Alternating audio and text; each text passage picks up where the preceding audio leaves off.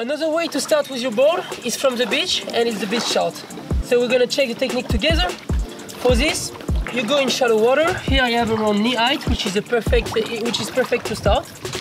You're gonna put your back foot on the back rail, basically. You insert the key leash to activate the battery. Make sure that your hand controller is on.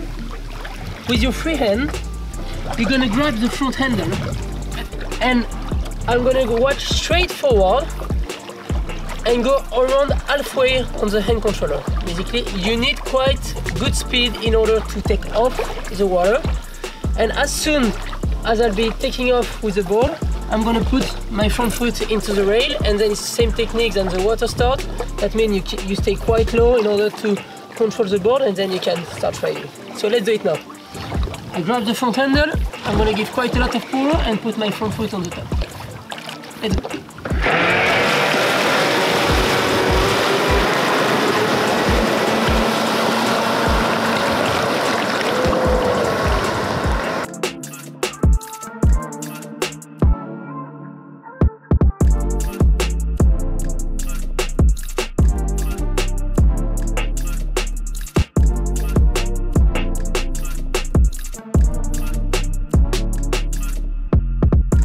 Now I'll show you with the foot straps, which is actually even easier.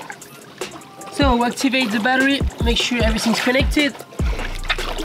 You slide the back foot inside the foot strap, and then it's gonna be exactly the same process, but I'm just gonna put my front foot straight away inside the straps. Let's go.